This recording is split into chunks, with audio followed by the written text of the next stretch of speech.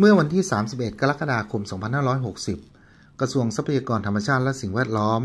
โดยกรมอุทยานแห่งชาติสัตว์ป่าและพันธุ์พืช จัดพิธีสวนสนาม เนื่องในวันเจ้าหน้าที่พิทักษ์ป่าโลก 2560 World Ranger Day เพื่อเป็นการล้ำลึกถึงเจ้าหน้าที่พิทักษ์ป่า ที่ได้รับบาดเจ็บและเสียชีวิต จากการดูแลรักษาทรัพยากรธรรมชาติ และสนับสนุนเจ้าหน้าที่พิทักษ์ป่า ผู้เป็นหัวใจหลัก ในการทำหน้าที่เป็นแนวหน้า ในการอนุรักษ์พื้นที่ป่า ซึ่งการให้ความสำคัญกับวันเจ้าหน้าที่พิทักษ์ป่าโลก เป็นวิธีการหนึ่ง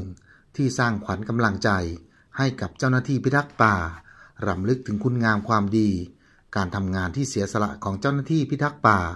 พร้อมทั้งสร้างขวัญและกำลังใจ ให้กับเจ้าหน้าที่พิทักษ์ป่า และเป็นการประชาสัมพันธ์ การดำเนินการของกรมอุทยานแห่งชาติสัตว์ป่าและพันธุ์พืช ด้านการป้องกันทรัพยากรธรรมชาติของประเทศ